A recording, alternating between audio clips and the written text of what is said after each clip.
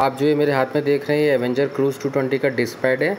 ये कॉस्टिंग कुछ one fifty rupees की है। आप इसे किसी भी ऑटो पार्ट शॉप से परचेस कर सकते हैं, जो आप सर्विस टाइम बचा सकते हैं, बजाज शोरूम में ना जाके। इसे आप इजीली कोई भी ऑटो पार्ट शॉप से आप परचेस कर सकते हैं।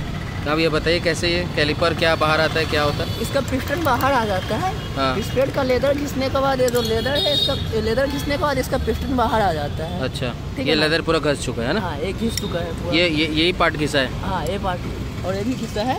इसको न्यू डालने के लिए फिर इसका पिस्टन दबाना पड़ता है। अच्छा। इसका पिस्टन दबाने के लिए अगर ऑयल ज़्यादा है नहीं निकल रहा है तो ढीला करना पड़ता है। अच्छा। जैसे का ऑयल निकलेगा तो नीचे का पिस्टन दबेगा। दबेगा तो न्यू डिस्प्ले लगेगा